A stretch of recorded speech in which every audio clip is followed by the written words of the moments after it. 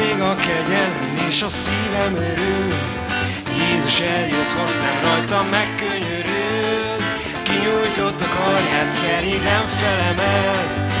Amíg élek, ezt a percet nem feledem.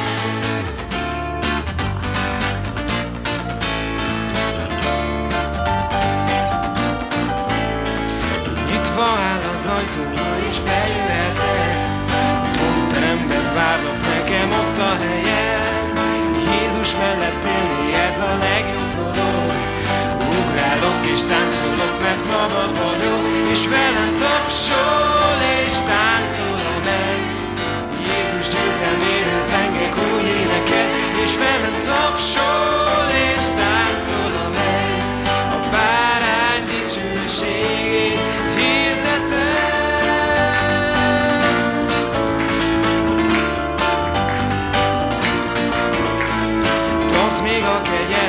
és a szívem örül. Jézus eljött hozzám, rajtam megkönyörül Kinyújtott a karját felétem felemelt Amíg érek ezt a percet nem feledem Nyitva áll az ajtó, ma is bejöhetek A trónterembe várnak nekem ott a helyem Jézus mellett élni ez a legjobb dolog. Ugrálok és táncolok, mert szabad vagyok És velem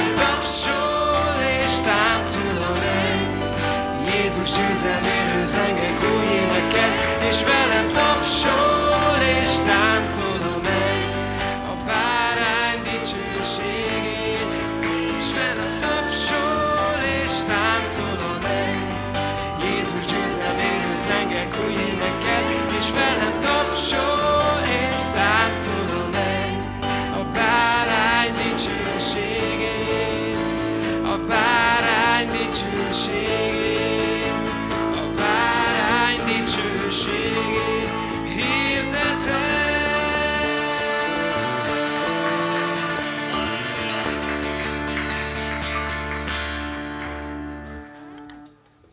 Amen. A bárány dicsőségét hirdetjük. Az ő jelenlétében megszabadul az ember szíve, és betelik örömmel és békességgel. A prédikációk mindig egy kicsit érdekesek, mert nehéz engedni a Szent Szellemnek. Mert az ember biztonságban akar lenni a prédikációk közepette. Ez egy nagyon érdekes dolog, tudod, hogy, hogy tudsz-e engedni, ez egyébként mindenre igaz, tehát az imádságra, proféciára, tudsz-e engedni, ja Istenem, annak a, annak a gyönyörűségnek, ami jelen van az Isten jelenlétében, vagy pedig el akarsz mondani valamit, mert, mert felkészültél. Mostanában egyébként elég sokat készülök, és az Úrnak a tréfája, hogy soha nem azt mondom el.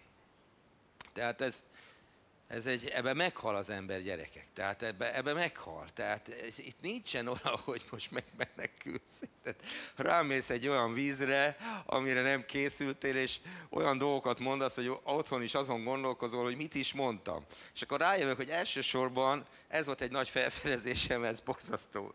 Amikor először ezt kimondtam, és megláttam, hogy hát én elsősorban magamnak prédikálok. Tehát ez, ez egy érdekes volt. Ez egy, de az más kérdés, hogy ti is hasonlók vagytok hozzám, tehát azért nektek is szól.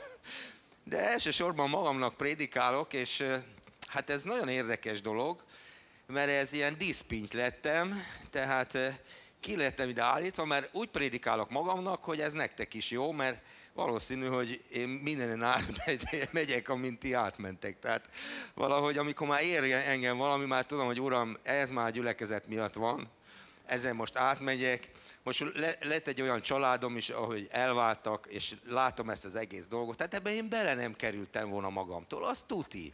És benne vagyok, és úgy nézem kívülről magamat, hogy hogy kerültem én ide, mit keresek én itt, és akkor nézem az Istennek a dicsőségét, ahogy megjelenik, és ahogy ezek a gyerekek majd meg fognak térni, és ahogy először csak azt tapasztalják, hogy egyszerűen csak szeretem őket, egyszerűen csak bízhatnak bennem, és nem akarom ide vontatni őket a gyülekezetbe, nem akarok megvallást tetni velük, nem akarom beláttatni velük, hogy milyen bűnösök, hanem egyszerűen csak szeretem őket, egyszerűen csak úgy nézek rájuk, hogy nagyszerű emberek, és olyan érdekes, hogy hogy belevisz engem az Isten ezekbe a dolgokba. Jó, hát néha megszökök meg, azt mondom, hogy azért ez nekem túl sok, és elmenekülök, azt akkor futok egy-két kört a Szilaspatak partján, de úgy egyébként visszahoz az Úr az eredeti állapotomba, és szeretne, szeretne biztatni benneteket is, hogy gyerekek, nincs semmi baj, nincs semmi baj, az életnek mindjárt vége, átmegyünk rajta, de addig is jó kéne éreznünk magunkat, úgy egyébként. Jó? Tehát Isten velünk van, és hidd el, hogy az Isten szeretőknek minden a javukra válik, és olyan, olyan érdekes, hát tehát sok, sok minden dolog történik velem, olyanok, amik eddig nem történtek, mint a színházban megyek, meg moziba, meg meg mit tudom én, még nem mondom el, hogy még mik vannak, tehát érdekes dolgok. És hát mondja a Kata nekem, hogy, hogy, hogy elmenne. Mondom, hát elmenne, hova érted, minek? Mi, mi, én otthon Magyaródon inkább csak úgy szoktam lenni, nem mentem én sehova, érted? Hát bemegyek a jegyirodába, mondom, valahova el kéne menni az asszonyjal. Hát, ha már ezt kéri, én imádkoztam előtte, Uram, segíts ebben, mert én aztán, én nem tudom, hova menjünk, és mondom, szeretjük ugye a, a jó zenét, a táncot, azért a jó színházat, meg minden dolgot, ami jó. De mondom, ne nézzenek hülyének, én normális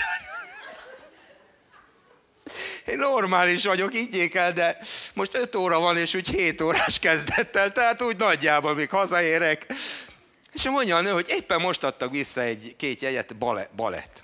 Az ne, csak balett ne, mert mióta van ez a futónadrágom, azóta nem szeretem a balettosokat. Na most ezt hagyjuk. Nagyon szép futónadrágom van, ilyen balettos, tehát ilyen, mint a győri balett, úgy nézek ki az erdőbe. Néha férfiak is futnak utána, tehát. De hát Mondom, azt ne, csak balettot nem. Aztán el, elmondta a repertoárát, hogy még, még mi van, az kiderült, hogy maradt a balett. Aztán de ilyen modern tánc, és akkor nagyon érdekes, nem voltam még a műpába se, hát érted, én nem vagyok kultúrlény, én hívő vagyok, tehát a hívő nem járt, ilyen helyekre nem járt a hívő.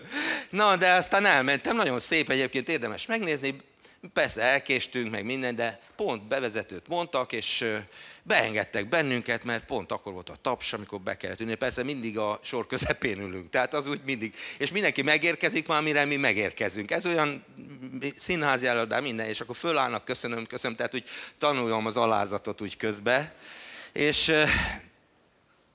csodálatos táncot láttunk, ahol eltáncolták ezek az emberek, hogy milyen az, amikor a férj megcsalja a feleségét, hogy hogyan törik szét a házasság, hogy a gyerekük hogyan fusztrálódik, hogy a következő kapcsolat, ami elementáris, nagyon ö, fantasztikusan indul, és tele van ö, élvezettel, tűzzel, és és valami nagyon, nagyon jónak tűnik, hogy hogyan megy tönkre, a végén már hogyan löködik ők is egymást, már az is elromlik, és közben a kislányuk hogyan, hogyan megy még jobban tönkre, és a végén meghal a kislány, ez, ezzel fejeződik be az egész történet, és egyszerűen csak néztem, és mondom, prédikálják az evangéliumot. Ugye múltkor az Operett Színházban láttam az Isten pénzét, aki tudja, azt nézze meg, nagyon, nagyon megrázott, mindenki sírt a végén, amikor az Isten kegyelméről ott szó volt, és az az ima, hogy, hogy ő, ő nem volt soha boldog ember, és hogy most, hogy meghalt, Uram, segíts meg őt. És ahogy ezt látja ez az ember, hogy ő érte imádkozik, az az ember, akin soha nem segített, ezen megrendül és megváltozik. Mindenki sírt a színházba, és akkor láttam, hogy ha, ha ha a gyülekezetekben nem lesz prédikálva az evangélium, akkor ilyen módon lesz prédikálva. És meg lesznek érintve az emberi szívek. Mert az emberi szívek eh, eh, éhesek, képzeljétek el. Rendkívül éhesek. És olyan éjség van a szépre és a jóra és az igazságra és az Istennek a szerelmére, hogy elkép elképesztően nagy, nagy éjség van.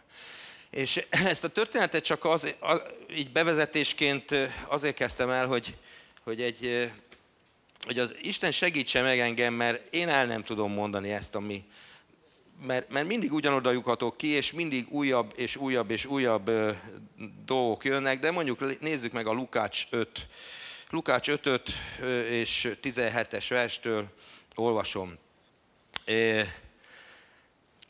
És lőn egy napon, hogy az ő tanít, tanít, és ott ülének a farizeusok és a törvénynek tanítói, akik jöttek Galileából és Judeának minden falujából és Jeruzsálemből. És az Úrnak hatalma volt ő vele, hogy gyógyítson. Ez a következő dolog, teljesen biztos vagyok benne, hogy az Úr hatalma meg fog jelenni közöttünk, hogy hatalmas gyógyulásokat lássunk, mert ez mindennapos volt Jézus idejébe, és az első tanítványok idejébe is. És azt gondolom, hogy amikor a kegyelmet prédikálják, annak a következménye ez lesz. Hogy az Úr ereje megjelenik, és azért is, hogy, hogy gyógyítson. És ime volt valami férfit, akit, és ime valami férfiak ágyan egy embert hozának, aki gutaütött volt. Ez agyvérzettet jelent, és igyekezének az bevinni ő elébe, és letenni. De nem találván módot, hogy a sokaság miatt miképp vigyék őt be, felhágtak a háztetőre, és a cserép héjazátán át bocsátták őt alá ágyastól Jézus elé középre. És látván azoknak hitét, mondta, ember, megbocsátattak néked a te bűneid. Az írástudók pedig és a farizeusok elkezdenek tanakodni mondván, kicsoda ez, aki így káromlás szól. Csak úgy mondom, ma is káromlás az, hogyha azt mondjuk, hogy a, az emberiségnek a bűnei meg vannak bocsátva. Meg vannak bocsátva, ha jár gyülekezetbe, ha bemerítkezik, vagy ha bűnvallást tart. Nem! Meg lett az Isten báránya, megbocsátotta minden bűnt, kész, ez az evangélium. De hát ez botrány ma is. De itt, itt is botrány volt. Ki bocsáthatja meg a bűnt, hanem egyedül az Isten. Jézus pedig észrevévén az ő tanalkodásukat felvévén mondta nékik, felvetvén mondva, felelvén mondva nékik. Mit tanakodtok a ti szívetekben? Melyik könnyebb? Azt mondani, megbocsátatnak néked a te bűneid, vagy azt mondani, kelj fel és járj. Hogy pedig megtudjátok, hogy az ember fiának van hatalma a földön megbocsátani a bűnöket, mondta a gutaütöttnek. Néked mondom, kelj fel, és felövezvén nyoszolyádat eredj haza és az rögtön felkelvén azok szemelátára fölvevé, amin feküdt, és elméne haza dicsőítvén az Istent, és az álmélkodás elfogá minnyájukat, és dicsőíték az Istent, és betelének félelemmel mondván, bizony csoda dolgokat láttunk ma. Ez a történet folytatódik, tehát gyakorlatilag most több történetet is akarok majd összefűzni, de amikor imádkoztam, az, az volt bennem, hogy ezt olvassam fel. És ez a történet gyakorlatilag egy nagyon érdekes történet, mert ez a hitről is szól, hogy a, a mások hite meg tud menteni egy embert, de most nem erről akarok beszélni, hanem egyszerűen megérintette a szívemet az, hogy vajon miért mondja Jézus ennek az embernek, hogy megbocsátottak a bűneid. Nem tudom, gondolkoztál-e rajta, vagy vagy, vagy most, ahogy fölteszem ezt a kérdést, elgondolkozol-e rajta, hogy miért mondhatja? Miért mondhatja, mert igazából nem passzol bele a képbe ez. Ugye azért, mert olvastuk sokszor, és akkor úgy persze már tudjuk, de nem passzol bele a képbe. Mert a képbe az passzol bele, hogy meggyógyítja meggyógyítja, az passzol be a képbe, és akkor utána úgy gondoljuk, hogy bűnbánatot tart, megtér, és megbocsátják neki a bűn. Mert ezt így tanítottuk, nem? De ez nem fér bele a, a képletünkbe, nem fér bele a keresztény morálba ez a fajta dolog, de a, a, a zsidó morálba se fért bele. És ö, emlékeztek a vakonszülöttre, amikor ott van a vakonszülött, akit aztán Jézus meggyógyít, emlékeztek, hogy mit mond, mit mondanak a tanítványok. Ki vétkezett? Ez, vagy a szülei? És akkor Jézus egy érdekes dolgot mond, hogy sem ez, sem a szülei. Na most ez így nem igaz. Mert mindenki vétkezett, ő is, meg a szülei is, nincs sem bűn nélkül egy ember se. De mégis a betegséggel kapcsolatban azt mondja, hogy nem az ő vétke miatt van, és ezt így kell érteni, és nem a szülei vétkei miatt van ez a dolog, hanem egyszerűen megbetegedett. Azt gondoljátok, hogy akikre ráomlottak kőfal, ott Siloámnál gonoszabbak voltak a többi embernél? Mondja Jézus, hogy azt mondja, nem. Azt gondoljátok, hogy akit a cunami elhordott és elsöpört, azok gonoszabbak voltak? Nem. Azt gondoljátok, hogy most a földrengésnél a Himalájában meghalt emberek gonoszabbak voltak, mint bárki más? Nem.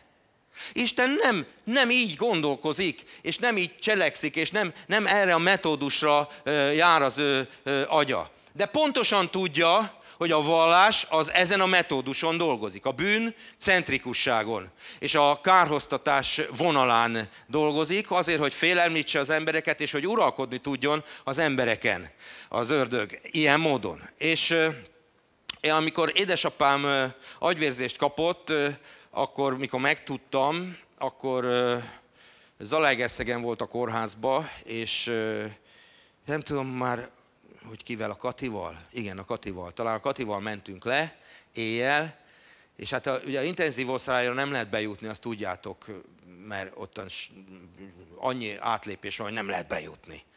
És imádkoztam, mert tudtam, hogy Isten, Isten oda akar engem vinni. Nem gyógyult meg apám, nem arról van szó, csak ott, ott valami történt akkor, és ugye az történt, hogy eleve a portás beengedett, mert azt mondta, úgyse jutok be. Tehát mondta, hogy úgyse jutok be, tehát ő, ő beenged. Mert mondtam, hogy Pestről jöttem, nem lehet fél háromkor, hogy nem enged be.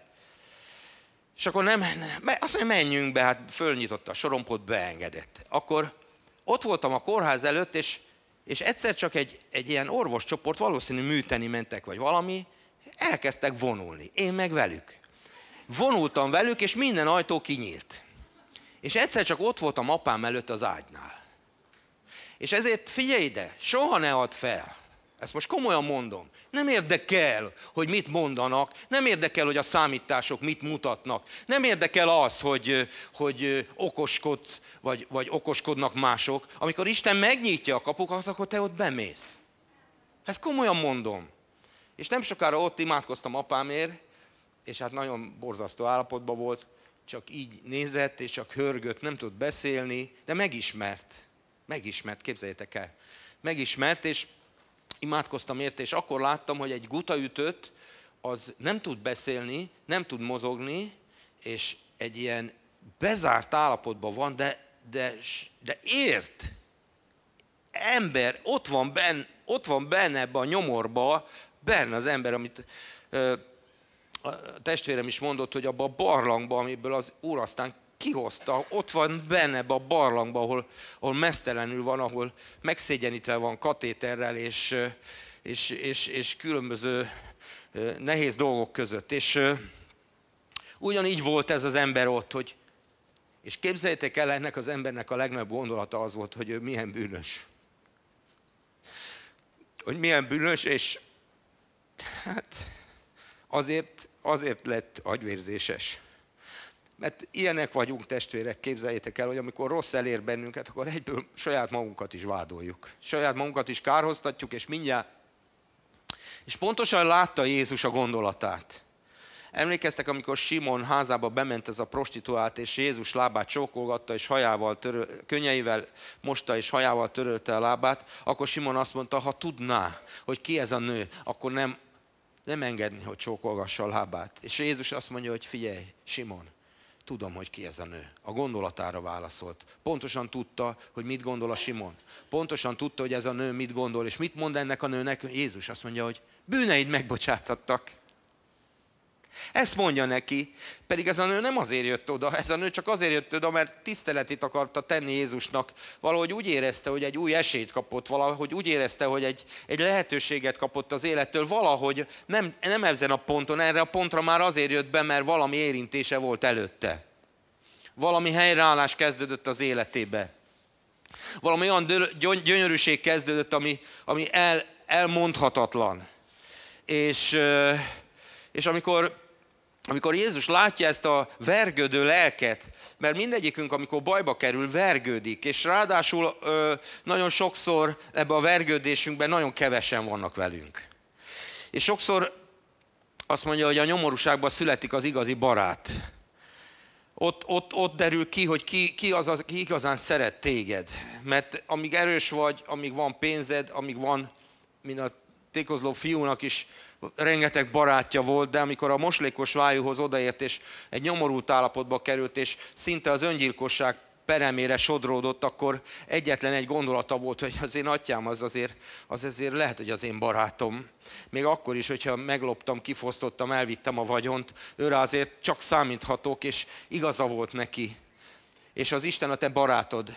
Az Isten nem mond le rólad, az Isten nem gondol rosszat rólad, képzeld el. Ő, ő jót gondol rólad, ő, ő mindig is jót gondolt rólad. Különben nem adta volna oda a fiát, érted, ha nem gondolt volna jót rólad. Jót gondol rólad. És, és ezt a belső gondolatot, amikor Jézus megfejti, és látja ennek a nyomorú embernek a nyomorúságát, akkor azt mondja, hogy figyelj ide, megvannak, elkezd beszélni az emberrel. Amikor Isten beszél veled, akkor ott, ott komoly dolgok történnek. Ott te és ő vagy senki más ott, ott a külvilág eltűnik, és egy olyan kontakt jön létre, ami, ami meghatározza az embert. Olyan mélységbe nyúl be az Isten az ő szeretetével a szíved legmélyére, ahova sen, senki nem tud benyúlni. Olyan, olyan nagy, nagyon nagy, csodálatos szeretettel és gyengétséggel cselekszik az Isten mindegyikünkkel, mert az Isten szeretete indít bennünket megtérésre, ezt mondja az ige, nem az Isten haragja, meg nem az Isten fenyegetése, nem a pokora való riaszgatás, hanem az Isten szeretete indít bennünket a megtérésre. És ezzel a szeretettel nyúl be ehhez az emberhez, és elmondja neki, hogy figyelj ide, meg vannak bocsátva a bűneid. Szerintem sok minden történhetett, hogy gutaütéshez jutott. Szerintem lehet, hogy ordított előtte, lehet, hogy, hogy átkozódott. Most amikor a Filip Jenszit olvastam, nagyon megrendített, az imádsággal foglalkozik, és nagyon megrendített egy, egy cikk, ahogy elolvastam, majd el is fogom olvasni, szeretnék egy alkalmat tartani az imádságról. És volt egy haldokló ember, aki rákos volt és áttétes és nagy fájdalmi voltak, és kiborult teljesen. Úgyhogy éjszaka elkezdte Istent átkozni. Istent és magát és mindent, és teljesen, teljesen lenullázta a lelkét. És reggel ott volt összetörve a halál előtt. És tele vádlással. És mondja a hospice szolgálatnak a vezetőjének, hogy ő, ő most már az Istenbe se tud kapaszkodni, mert elátkozta őt is. És azt mondja, figyelj ide, miért? És azt mondja, elmondta, hogy mit csinált éjjel.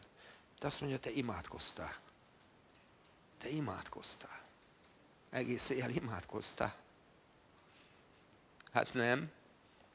Mert a közömbösség a legnagyobb baj velünk nem az, hogy kiborulunk az Istenre, az Isten nagy szolgái mind kiborultak az Istenre. Olvassátok el. Mind. Egytől egyig elege lett az Istenből, elege lett a szolgálatából, elege lett az életéből. Azt mondta Illés is, hogy hagyjál meghalni. Jónás föláborodik, hogy úgyis kegyelmes Isten vagy, tudtam én, minek hoztál te engem ide. Mózes megöli az egyiptomit, bújdokolnia kell, és Dávid, tehát mehetünk tovább, érted, és és akkor ez az ember azt mondja, hogy tényleg? Igen. Te az Istennek elmondtad őszintén, hogy milyen nyomorult vagy. Figyeljetek ide, sokszor nyomorúságba jut az ember, sokszor olyan, olyan helyzetbe kerül, hogy azt gondolja, hogy elhagyta az Isten. És úgy is néz ki. És úgy is néz ki.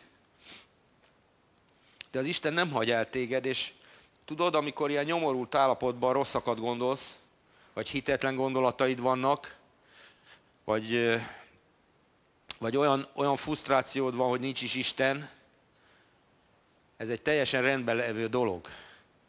Mert a hit, az igazi hit, az tele van kételjel. Az igazi hit, az tele van próbával. Az igazi hit, az tele van kétségbeeséssel.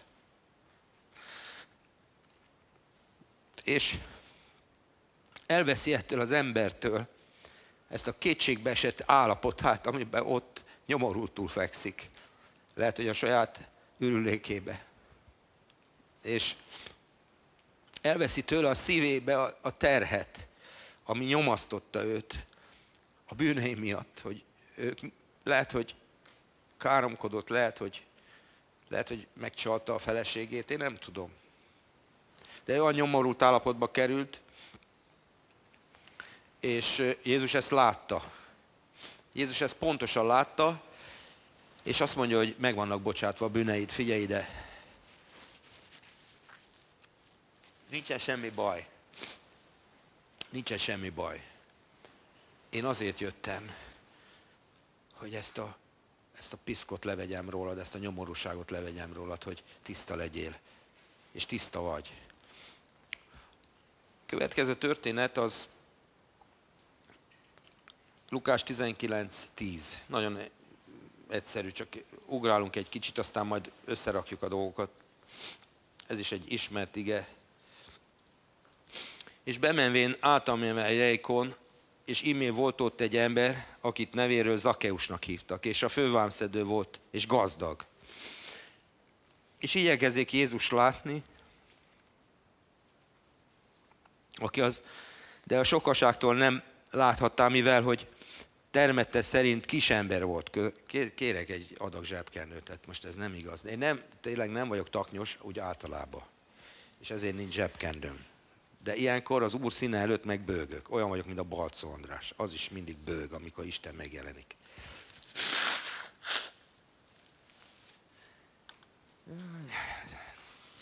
És előre futván felmászott egy eper fügefára, hogy ott lássa, merre volt elmeendő. És mikor arra a helyre jutott, feltekintvén Jézus látá őt, és mondta néki, Zákeus, hamar szállj le, mert ma nékem a te házadnál kell maradnom. És ilyetve leszállt, és örömmel fogadta őt. És mikor ezt látták, minnyájan zúgolódának, mondván, hogy bűnös emberhez megy beszállásra. Zákeus pedig előállván mondta az úrnak, Uram, én minden vagyom felét a szegényeknek adom és valakitől valamit patvarkodással elvetten, négy annyit adok helyébe. Monda pedig néki Jézus, ma lett idvesség ennek a háznak, mivel ő is Ábrahám fia. Mert azért jött az ember fia, hogy megkeresse és megtartsa, ami elveszett. Sokszor beszéltünk erről, és nem akarok nagyon ragadni az Ákeusnál, de ez egy alacsony ember volt, és az alacsony embereknek általában kisebb rendőrségi érzésük van, komplexus sokszor. Nem véletlenül a Napóleon is, meg a Hitler is alacsony volt, de ezt most ne folytassuk. De ez körülbelül egy ilyen alkat volt, egy ilyen alkat volt ez az Akeus. És eléggé sikeres, és eléggé gonosz, és eléggé átment mindenen.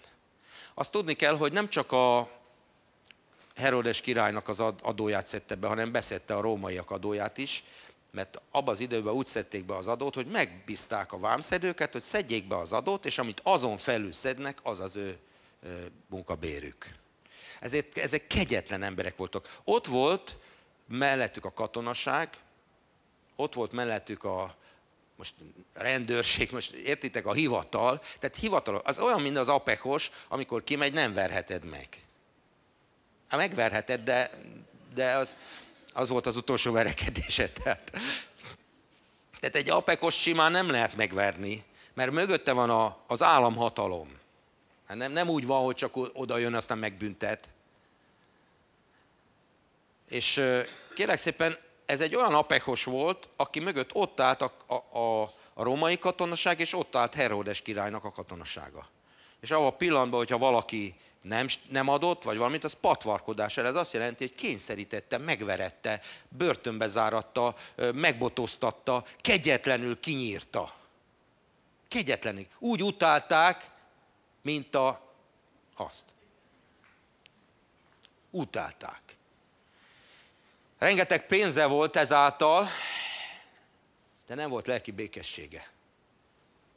Nem érezte magát otthon nem örült a vagyonnak. Tud, most olvastam a nők lapjába persze, na mindegy, hagyjuk ezt.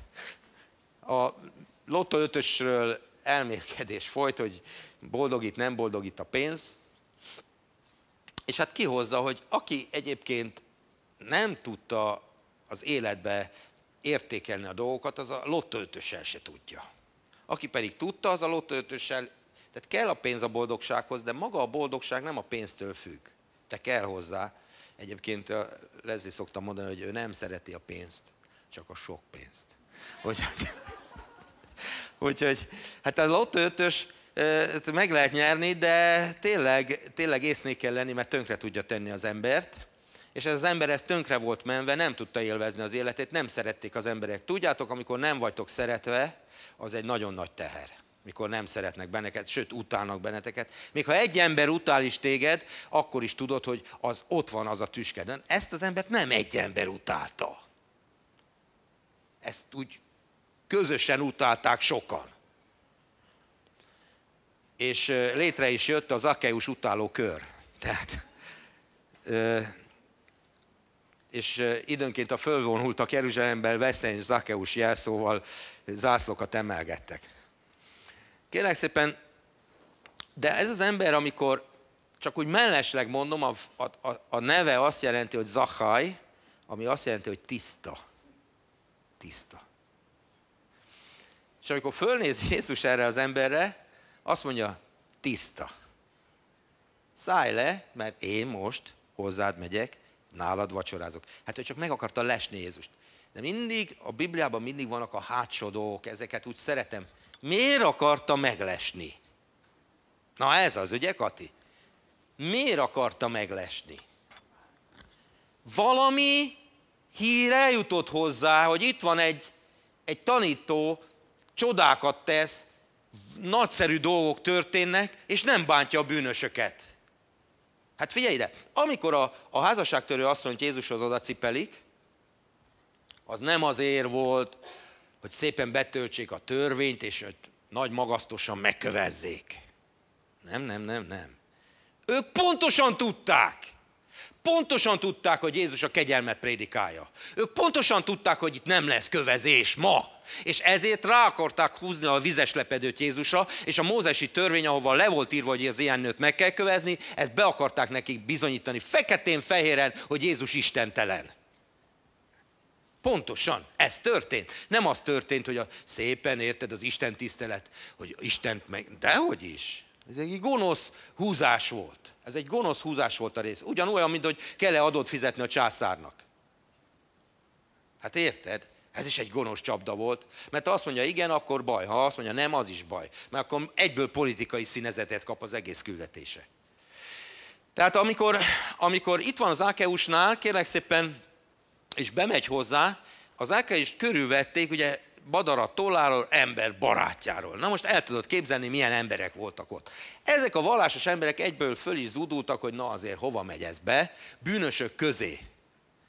És ö, nagyon érdekes az egész történet, mert nem tudjuk, hogy mi zajlik le közbe ott ezen a vacsorán, csak azt tudjuk, hogy ez az ember teljesen megváltozik teljesen megváltozik. Ezért szoktam mondani, hogy a törvény az erősíti a bűnt. A kegyelem pedig tönkreteszi a bűnt. Ez az igazság.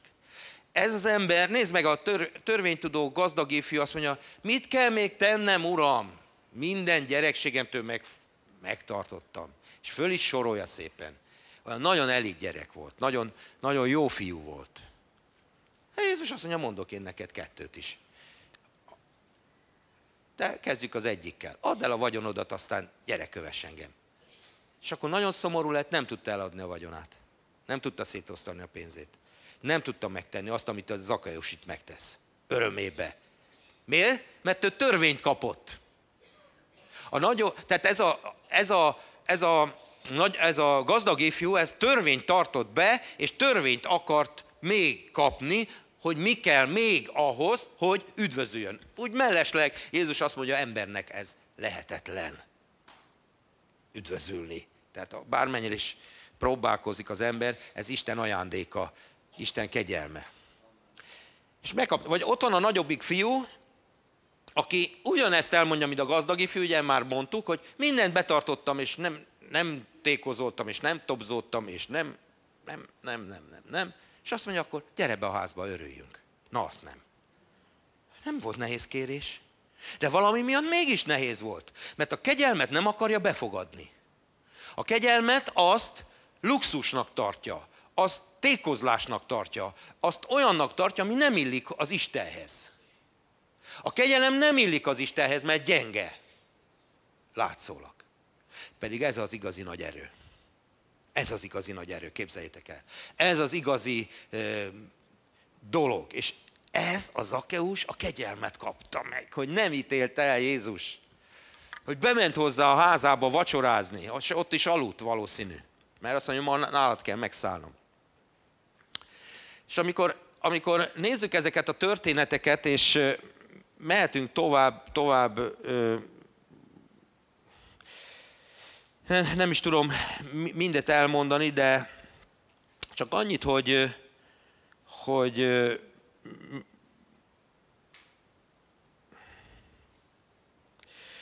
ugye már sokszor mondtuk a, a szamáriai asszony, stb. Végig van az egész Bibliában ezek a történetek. Szeretném, hogyha valamire rájönnénk, és benne maradnánk, és megalapozódnánk benne, és elkezdenénk ezt szerint gondolkodni, ami egyébként nem könnyű, ahogy a Bogár Péter is mondta. Megérteni a kegyelmet nem lehet kijelentés nélkül. Ez nem egy, hogy mondjam, nem egy új tan, hanem ez maga az isteni élet. Ha nem érted meg, nem jelenti ki a szívedbe az Isten, akkor ideges leszel rá. Ha kijelenti az Isten a szívedbe, akkor megérted, és megváltozik mind, minden felé a hozzáállásod, megváltozik. És az a helyzet, hogy utána a gyakorlati életben kell, hogy behozzuk ezeket a dolgokat. És én megfigyeltem, hogy predestinálva vagyunk a törvényes gondolkozásra és viselkedésre. Elsősorban a családunkban, a gyerekeinkkel, a házastársunkkal, a munkatársainkkal. És ez megöli a szeretetet. Ez képtelenné teszi a másik embert arra, hogy cselekedjen. A törvény az megnyomorítja a másikat. Bebizonyítja, hogy bűnös. Bebizonyítja, hogy alkalmatlan. Bebizonyítja, hogy, hogy, hogy, hogy nem tudja megtenni, mert nem tudja megtenni, mert ahhoz több kell, hogy meg tudja tenni. A kegyelem pedig lehetőséget ad arra, hogy megtegye azt, ami egyébként benne van. Hogy kijöjjön belőle, hogy kijöjjön belőle a megoldás, hogy kijöjjön belőle, és olyan érdekes, hogy hogy nagyon érzékenyek az emberek erre, a gyerekek különösebben. Én, én, én figyelem most az új gyerekeimet, és akkor ugye egy kicsit most az egyiket úgy elmarasztaltam én magamba is, meg azért úgy meg is mondtam neki. És elcsíptem egy beszélgetést, amit a testvéreivel, és arra panaszkodott, hogy hogyan gondolkodhatunk mi őróla így. Érted? Mert érzékenyek az, érzékeny mindenki arra, hogy bebizonyítják neki, hogy te alkalmatlan vagy, te bűnös vagy, te rossz utat tértél, te rossz döntést hoztál, stb. stb. stb. De amikor az ember azt mondja, hogy jó, lehet, hogy ezt eltévesztetted, de te nem vagy ilyen. Gyere le a fáról. Bemegyek hozzád. Beszélgessünk. Én tudom, hogy te szent vagy. Te, én tudom, hogy te te egy nagyszerű vagy. És ebbe a légkörben megváltozik mindenki, képzeljétek el. És ebbe a kapcsolati, ebbe a kapcsolatnak a létrejöttébe az ember előre megy. A házasságban a szerelem az úgy szokott mondani, hogy meg szokott szűnni. Vagy átalakul, vagy elveszik valahol, lepsénynél még megvolt, aztán utána kész, kifújt. És hát nagyon sok minden ezt mutatja be, hogy a, ki az, akit legjobban utál az ember? Hát a feleségét. Vagy a férjét. Ez, ez, ez, ez hihetetlen, és ezt meg kell csalni, ki kell játszani, stb. stb. De hogy juthat oda két ember, akik szerelmesek voltak egymásba, hogy esetleg bírósági úton egymás bűneit felhozva, egymás vádolva, ott ülnek, és mondják, és teljes gyűlölet van már bennük. Hogyan lehetett ide eljutni? Nagyon jó, most Pál Ferit is hallgatok újabban. Pál Feri mondja, hogy kiadja a garázsát, van egy kiadó garázs, egy öreg Józsi bácsinál veszi ki a garást, és negyed évente fizet, és fölhívja a Józsi bácsit, hogy Józsi bácsi, megyek fizetni. És akkor mondja Józsi bácsi, de jó Ferikém, olyan jó lesz találkozni, milyen jó, jó, jó lesz egy picit beszélni, és akkor hogy a Feri örül, hogy, hogy mennyire nagy szeretet van ebbe a Józsi bácsiba. De jön az ördög, és azt mondja, persze, hogy örül a Józsi bácsi, hát lóvét viszel neki. Hát te is örülnél, a pénzt hoznának. Nem neked örül, a pénznek örül. És ezzel a, azt akarta bemutatni, hogy azonnal megjelenik az ördög. Hogy elvegye a szép pillanatainkat. Azonnal megjelenik az ördög, hogy rosszat gondolja másikról. Azonnal megjelenik az ördög, hogy a, a szépségét, a, annak a hitnek, hogy a másikba bízol, hogy szereted, stb. stb., hogy tönkre tegye. Én azt gondolom, hogy amikor elkezd el a másikra úgy nézni, ahogy Isten néz rád, Jézuson keresztül, akkor megváltozik a másik. Nem törvényből, de te persze elmondhatod neki, hogy te milyen hülye vagy. El is mondtad már sokszor, és változott? Nem változott, sőt, hülyébb lett. Kérlek szépen, de amikor kinyílik a szíved arra, hogy te nem vagy hülye, na most mindegy, de, de, de lehet, hogy az, de most nem is ez a lényeg. De most nem ez a lényeg, hanem kinyílik a szíved a másikat, hogy jónak lássad, hogy a másikat szépnek lássad, hogy a másikat gyönyörűnek lássad. Most Esztergomban, amikor prédikáltam, nagyon, megint ott volt az Úr, nagyon, tényleg. Akkor egy asszonyka elkezdett sírni. És azt mondta, hogy most azt érzi, hogy átölelte őt az Isten, és hogy, hogy, hogy nagyon szereti. És azt mondja, ez megtérésekor volt ez az érzése, ez az átélése, hogy, hogy ennyire szereti az Isten. Igen, amikor rájössz arra, hogy az Isten szeret téged, hiába vagy vámszedő, hiába vagy alacsony, hiába vagy undok, hiába vagy tele bűnökkel, hiába rontottad el az életedet, hiába álltál a rossz oldalra. És most mondom nektek, keresztényként is rossz oldalra lehet állni. Hát az a legborzasztóbb egyébként. Hát az a legborzasztóbb. Mert még hitetlenként azt mondjuk, hogy Isten megbocsát, gyere az Úr színe előtt, és térjél meg. De hívőként már nem bocsát meg az Isten, nem azt képviseljük, hanem azt képviseljük, hogy és vannak igéink rá, amivel kinyírjuk a másikat, meg magunkat is.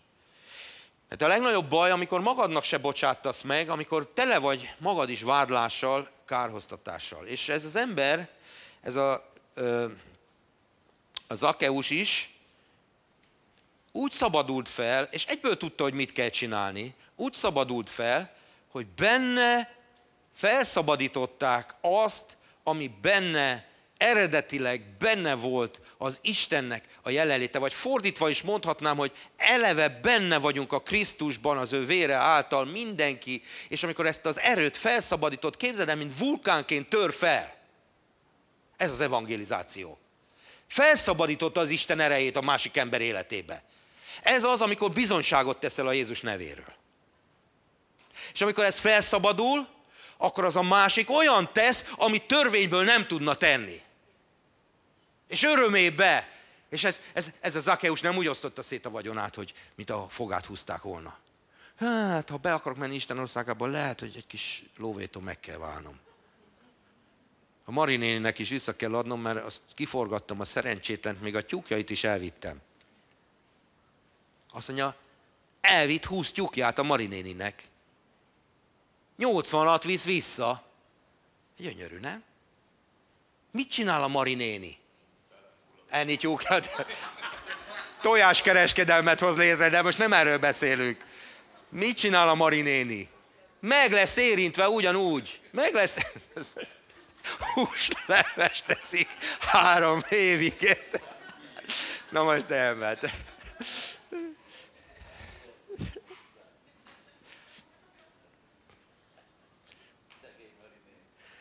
A Marinén is meg lesz érintve a 80 tyúktól.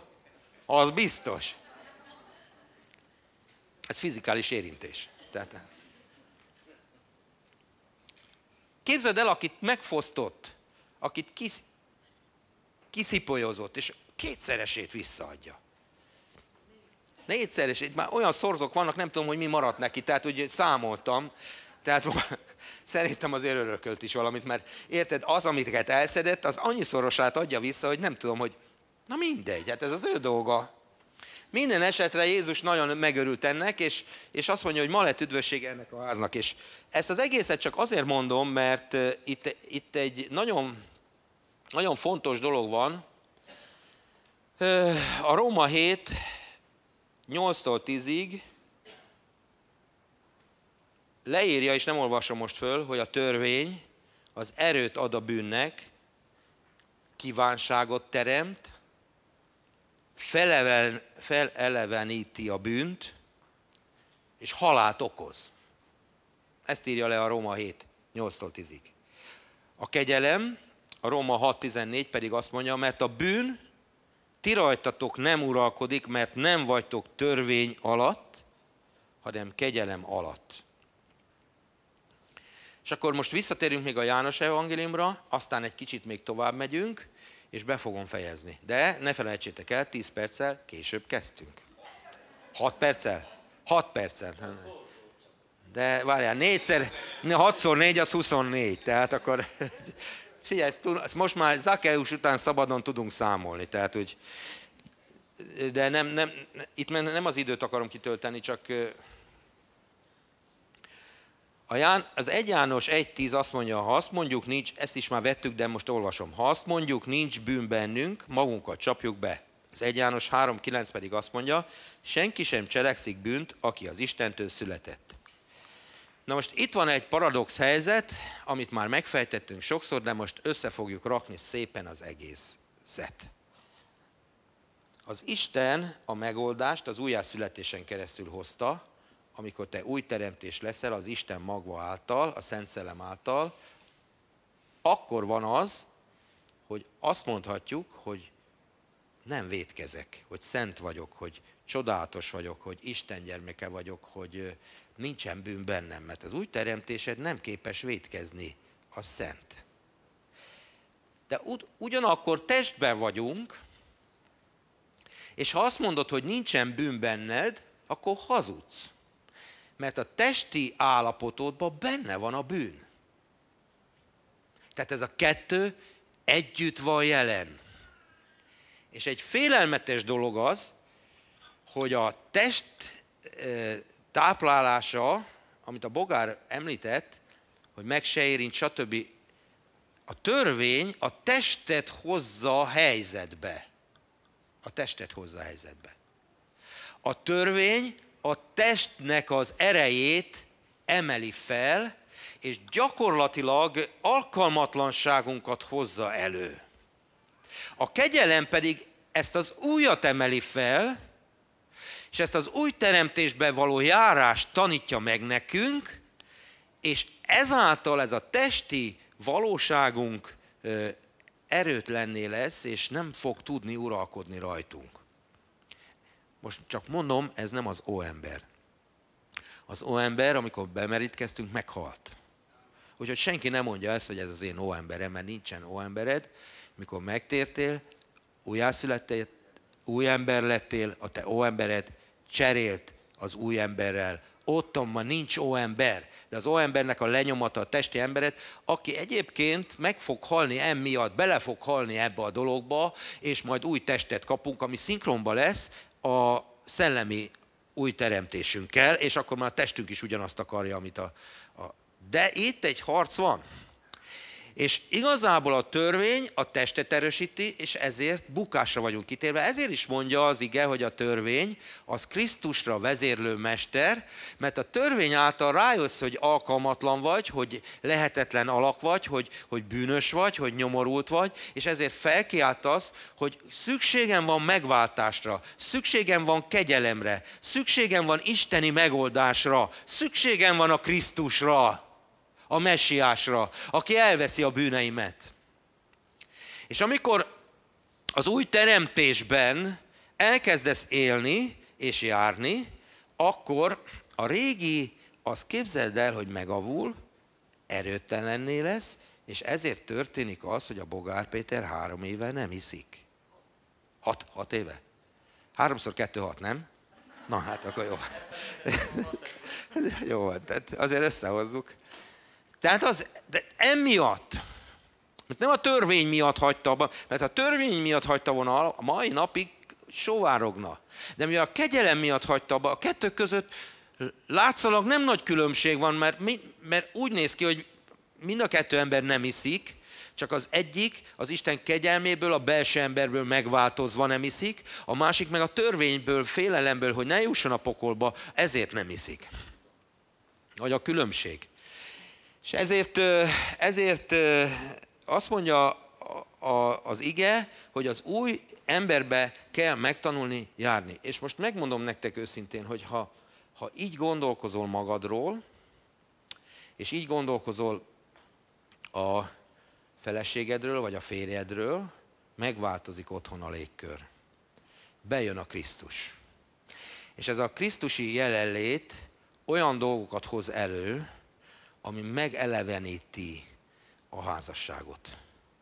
Megeleveníti a házasságot, megeleveníti a légkört, megjelenik Istennek a dicsősége, és olyan dolgok, olyan változások fognak beállni, mint én bennem is beállt. Minden nap, majdnem minden nap. Nem mindig, de azért majdnem minden nap bevetem az ágyat. Amit a, hát ez, azt gondoltam, hogy ez nem férfi munka. Tehát azért nagyon sok nem férfi munkát csinálok most már, de a Máriát még meggyőztem, hogy ez se férfi munka, meg ez se. Hát úgy, na, úgy rájöttem, hogy úgy nagyjából a, a munkáknak a 90%-a a Földön az női. Nem, Bagár? A 10% az a férfi munka. De azt nem csináljuk meg, mert pihenünk. Tehát most ezt, ezt hagyjuk, ezt. Bicskei, ez nem tetszik neked, látod. Ez nem tetszik neked. De nem, majd valamikor olyan predikáció is van, ami neked nem tetszik. Hát érted? Mert az Isten foglalkozni akar veled. Hát az azért van.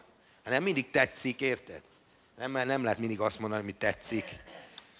Ez nekem se tetszik, nehogy azt hidd. Sőt, otthon el fogják mondani nekem. Ugyan már, ugyan már mindig is mondtam, hogy hagyjatok már, hát ezt én prédikáltam, de az egy más dolog, hogy én itthon élni akarok, érted? Szeretnék egy kis életet. Na, Máténak se tetszik annyira, de nem baj, nem baj. Megértem én a férfiakat, megértem én. E, és amikor, amikor ez a légkör kik, beengedjük az Isten kegyelmét, az Istennek a nézőpontját, akkor figyelj, találtam egy gyönyörű igét, és akkor utána még kicsit még segítsetek nekem, hogy állítsuk meg egy picit csak az időt. Azt mondja, hogy ne, ne, ne, nem baj, ezt az igét most nem olvasom fel, hanem az összes többit felolvasom. Figyelj, amikor imádkozol, az imádságról is majd szól ez, de most bemegyünk a gyakorlati életbe, Facebookon többen írták nekem, hogy értik már kegyelmet, de ez gyakorlatilag hogy működik, mert hát ez egyszerűen, hát jó lenne, ha működne, de de hogy van ennek a gyakorlata? A gyakorlat ott kezdődik, hogy fekvő támasz. Na ne, Aliz, ez csak vicc volt. Tehát nem. Na, tehát a gyakorlat ott kezdődik, hogy amikor imádkozol, amikor pozícionálod magad, milyen szép ez, gyönyörű. Pozícionálod magadat, akkor az szerint kell látnod magadat, ahogy Isten lát, és amit Isten gondol rólad. Na most a Legjobb erre az Efezus, Filippi és Kolosse levél. Ezek a börtönlevelek.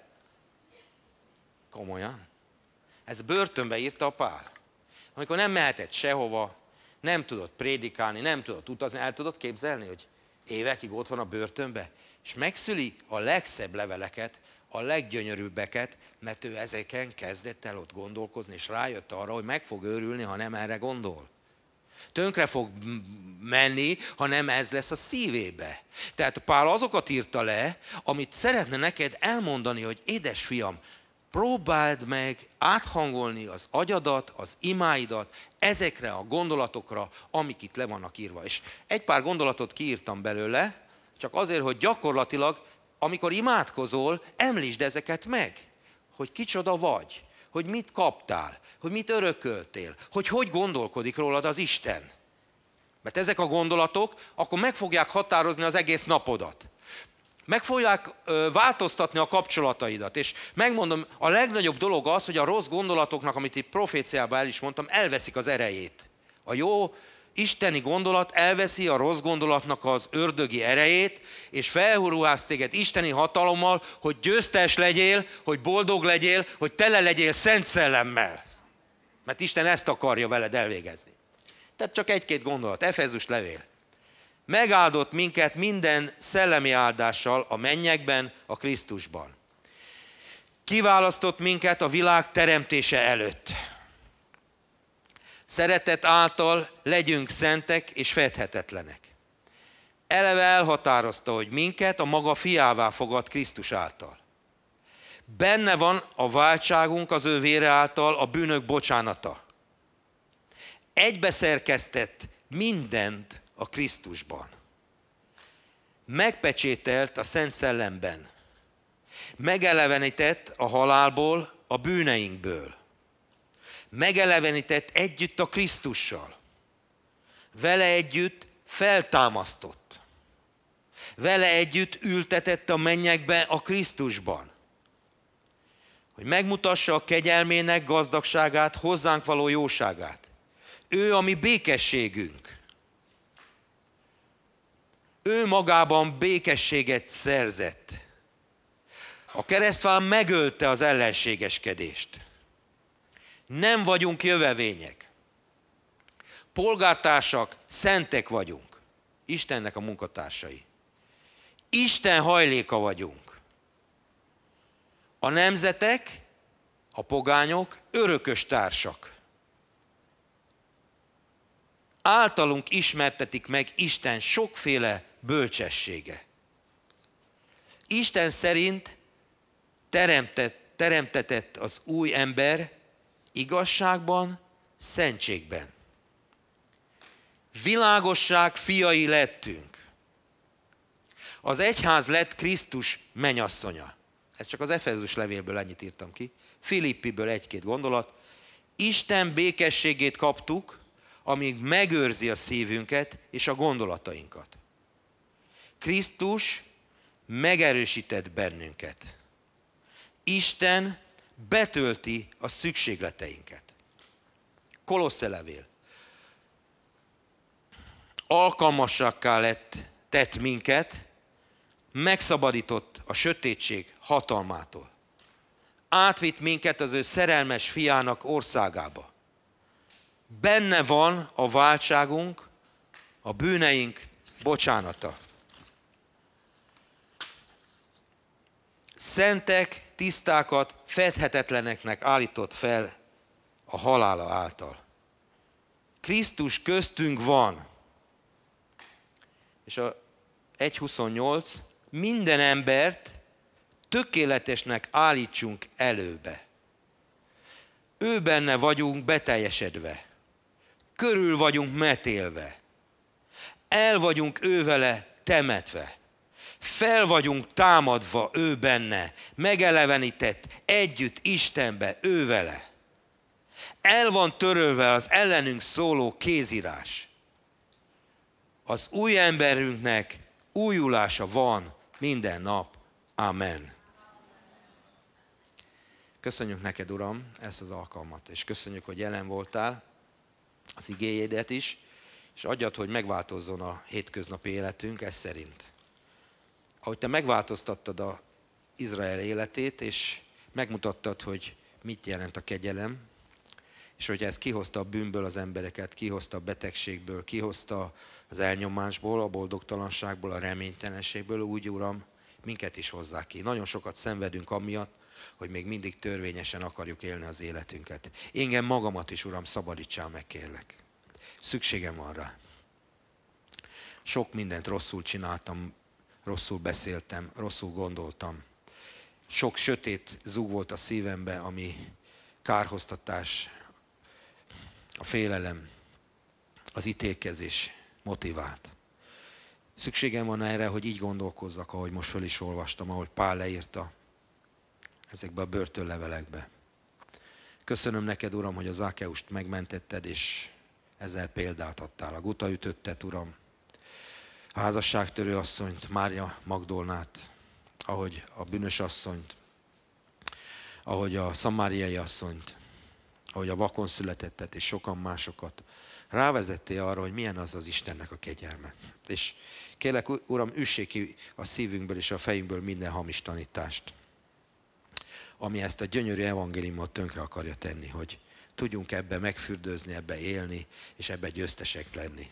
Megáldalak benneteket, hogy bátorodjék meg a szívetek elfogadni Istennek a szeretetét, jóságát, könyörületességét, Istennek a kegyelmét. Legyen áldott az életetek. Amen.